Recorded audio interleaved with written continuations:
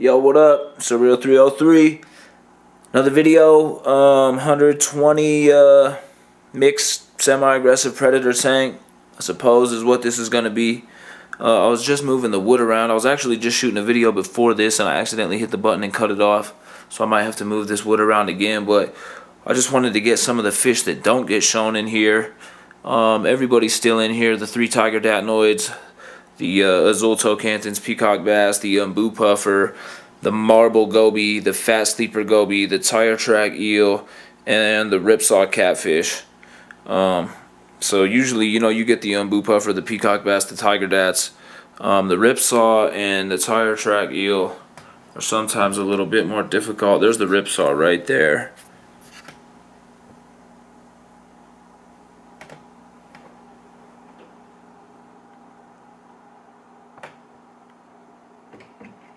Whoa. He just spooked that goby a little bit. So there was that. There goes the tire track eel. He cruised by. There's the marble goby going nuts.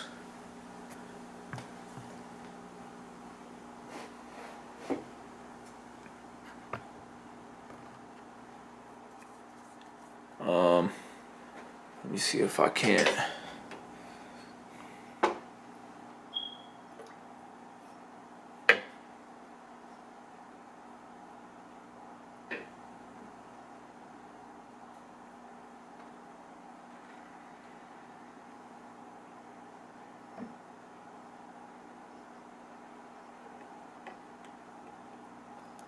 So there is the ripsaw, the marble goby, tire track eel right there. Oh, there's the fat sleeper goby as well.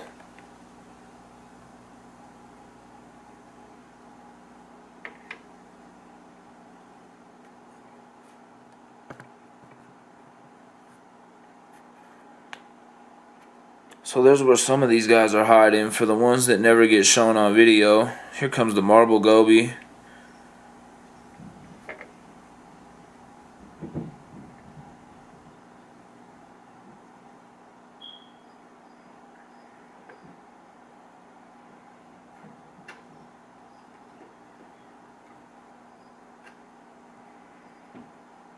Put some of this wood back down over here.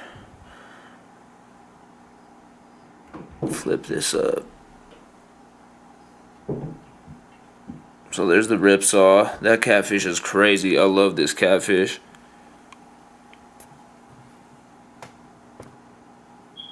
He hasn't been shown for a while, but since I've gotten him, he is way bigger. That's for certain. Alright, let me close this lid. Yeah, there's that guy. There's the marble goby back there. Oh, the fat sleeper goby just took off. He might come back out. There he is. So there is the fat sleeper goby.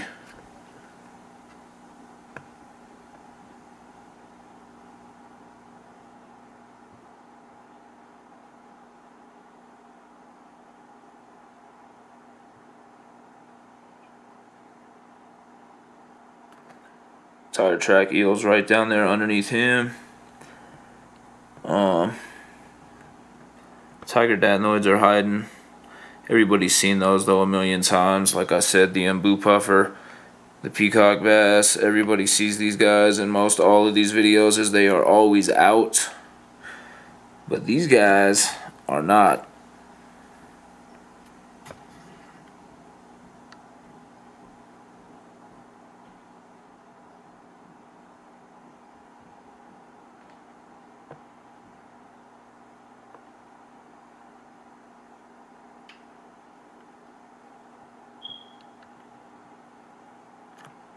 It's hard to pull a focus. I should have cleaned this tank up a little better. It wants to focus in on the glass. There we go. So how's that for two oddballs?